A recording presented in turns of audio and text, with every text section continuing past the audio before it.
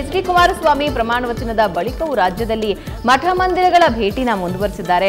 ಪ್ರಮಾಣ ವಚನಕ್ಕೂ ಮುನ್ನವೇ ಹಲವು ರಾಜ್ಯದ ಹಲವು ದೇವಸ್ಥಾನಗಳಿಗೆ ಭೇಟಿ ನೀಡಿರುವ ಎಚ್ಡಿಕೆ ಇವತ್ತು ತುಮಕೂರಿನ ಸಿದ್ಧಗಂಗಾ ಮಠಕ್ಕೆ ಭೇಟಿ ನೀಡಲಿದ್ದಾರೆ. ಇವತ್ತು ಬೆಳಗ್ಗೆ ಎಂಟು ಗಂಟೆ ಹೊತ್ತಿಗೆ ಮಠಕ್ಕೆ ಭೇಟಿ ನೀಡಿ ಸಿದ್ಧಗಂಗಾ ಶ್ರೀಗಳ ಆಶೀರ್ವಾದ ಪಡೆಯಲಿದ್ದಾರೆ. ಸಿಎಂ ಆದ ಮೇಲೆ ಕುಮಾರಸ್ವಾಮಿ ಅವರ ಮೊದಲ ಭೇಟಿ ಇದು ಸಿದ್ಧಗಂಗಾ ಮಠಕ್ಕೆ. ಇತ್ತೀಚೆಗೆ ಸಿಎಂ ಹುದ್ದೆ ಏರಿದ್ದಾಗ ಬಿಎಸ್ ಯಡಿಯೂರಪ್ಪ ಕೂಡ ಸಿದ್ಧಗಂಗಾ ಮಠಕ್ಕೆ ಭೇಟಿ ಕೊಟ್ಟು ಶ್ರೀಗಳ ಆಶೀರ್ವಾದ ಪಡೆದಿದ್ದನ್ನು ನಾವಿಲ್ಲಿ ಸ್ಮರಿಸಬಹುದು ಈಗ ಕುಮಾರಸ್ವಾಮಿ ಇವತ್ತು ಮಠಕ್ಕೆ ಭೇಟಿ ಕೊಡ್ತಾ ಇದ್ದಾರೆ. ಎಸ್ ಈ ಕುರಿತಾಗಿ ಇನ್ನಷ್ಟು ಡೀಟೇಲ್ಸ್ ಅನ್ನ ನೀಡೋದಕ್ಕೆ ನಮ್ಮ ಇಬ್ಬರು ಪ್ರತಿ ಪ್ರತಿನಿಧಿಗಳು ನೇರ ಸಂಪರ್ಕದಲ್ಲಿದ್ದಾರೆ. ಎಚ್ ಡಿ ಕೆ ನಿವಾಸದಿಂದ ಸುರೇಶ್ ನೇರ ಸಂಪರ್ಕದಲ್ಲಿದ್ದಾರೆ. ಸಿದ್ಧಗಂಗಾ ಮಠದಿಂದ ಮಹಂತೇಶ್ ನೇರ ಸಂಪರ್ಕದಲ್ಲಿದ್ದಾರೆ. ಮೊದಲಿಗೆ ಎಚ್ ಡಿ ಕೆ ನಿವಾಸದ ಬಳಿ ಏನಾಗ್ತಾ ಇದೆ ಅನ್ನೋದನ್ನ ತಿಳ್ಕೊಳ್ಳೋಣ.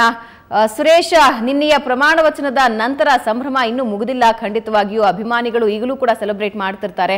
ಆದ್ರೆ ಮುಂದಿನ ಯೋಜನೆಗಳೇನು ಅನ್ನೋದು ತೀವ್ರ ಕುತೂಹಲ ಮೂಡಿಸ್ತಾ ಇರುವಂತಹ ವಿಷಯ. ಎಚ್ ಡಿ ಕೆ ನಿವಾಸದ ಬಳಿಯಿಂದ ಏನೆಲ್ಲ ವಿಷಯಗಳು ತಿಳಿದು ಬರ್ತಾ ಇದೆ?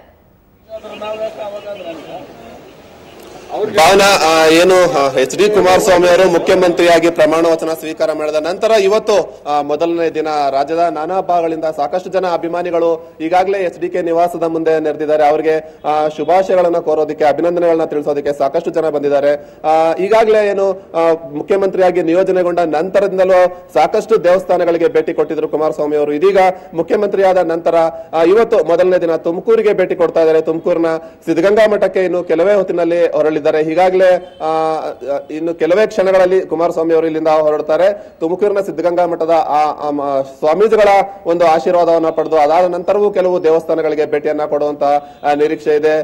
ಈಗ ನಾಳೆ ಏನು ವಿಧಾನಸೌಧದಲ್ಲಿ ಬಹುಮತ ಸಾಬೀತುಪಡಿಸುವಂತಹ ಸಾಬೀತುಪಡಿಸುವಂತ ಒಂದು ಅಧಿವೇಶನವನ್ನ ಕರೆಯಲಾಗಿದೆ. ಹಾಗಾಗಿ ಸಾಕಷ್ಟು ದೇವಸ್ಥಾನಗಳಿಗೆ ಇದೀಗ ಕುಮಾರಸ್ವಾಮಿ ಅವರು ಭೇಟಿ ಕೊಡಲಿದ್ದಾರೆ. ಇನ್ನು ಕೆಲವೇ ಹೊತ್ತಿನಲ್ಲಿ ಮನೆಯಿಂದ ನೇರವಾಗಿ ಎಚ್ ವಿಮಾನ ನಿಲ್ದಾಣಕ್ಕೆ ಹೊರಳಿರುವಂತಹ ಕುಮಾರಸ್ವಾಮಿ ಹೆಲಿಕಾಪ್ಟರ್ನಲ್ಲಿ ತುಮಕೂರಿಗೆ ಭೇಟಿ ಕೊಡಲಿದ್ದಾರೆ. ಸಾಕಷ್ಟು ಜನ ಅಭಿಮಾನಿಗಳು ಸಹ ಅವರನ್ನ ಭೇಟಿ ಮಾಡೋದಕ್ಕೆ ಕಾಯ್ತಾ ಇದ್ದಾರೆ ಅಂತಾನೆ ಹೇಳ್ಬಹುದು ಭಾವನಾ.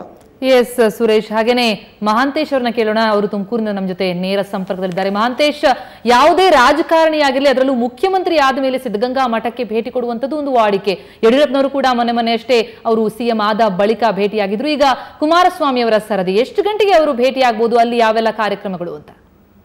ಆ ಭವನ ಇವತ್ತು ಮುಖ್ಯಮಂತ್ರಿ ಕುಮಾರಸ್ವಾಮಿ ಅವರು ಸುಮಾರು ಒಂಬತ್ತು ಗಂಟೆಗೆ ಏನು ತುಮಕೂರಿನ ವಿವಿ ಹೆಲಿಪ್ಯಾಡ್ ಬಳಿ ಬರಲಿದ್ದಾರೆ ಅಲ್ಲಿಂದ ನೇರವಾಗಿ ಕಾರ್ ಮುಖಾಂತರವಾಗಿ ಸಿದ್ಧಗಂಗಾ ಮಠಕ್ಕೆ ಆಗಮಿಸುವಂತದ್ದು ಸುಮಾರು ಒಂಬತ್ತು ಒಂಬತ್ತು ಕಾಲುವರೆಗೆ ಮಠಕ್ಕೆ ಆವರಿಸುವಂತಹ ಕುಮಾರಸ್ವಾಮಿ ಅವರು ಹನ್ನೊಂದು ಗಂಟೆವರೆಗೂ ಕೂಡ ಮಠದಲ್ಲಿ ಇರ್ತಾರೆ ಅನ್ನೋ ಒಂದು ಮಾಹಿತಿ ಲಭ್ಯವಾಗಿರುವಂತದ್ದು ಏನು ಈ ಒಂದು ವೇಳೆಯಲ್ಲಿ ಏನು ಶ್ರೀಗಳ ಜೊತೆಗೆ ಕುಮಾರಸ್ವಾಮಿ ಅವರು ಚರ್ಚೆ ನಡೆಸಲಿದ್ದಾರೆ. ರಾಜ್ಯದ ಅಭಿವೃದ್ಧಿ ಸೇರಿದಂತೆ ವಿವಿಧ ವಿಚಾರಗಳ ಶ್ರೀಗಳ ಜೊತೆ ಒಂದು ಮಾತುಕತೆ ನಡೆಸಲಿದ್ದಾರೆ. ಮತ್ತೆ ಅವರ ಆಶೀರ್ವಾದನ ಪಡೆದು ಮತ್ತೆ ರಾಜ್ಯದ ಅಭಿವೃದ್ಧಿಗೆ ಬೇಕಾದಂತಹ ಸಲಹೆಯನ್ನು ಕೂಡ ಏನು ಶ್ರೀಗಳಿಂದ ಪಡೆಯಲಿದ್ದಾರೆ. ಈಗ ಆ, ಮಠದಲ್ಲಿ ಸಾಕಷ್ಟು ಒಂದು ಭದ್ರತೆಯನ್ನ ಮಾಡಿಕೊಳ್ಳಲಾಗಿದೆ.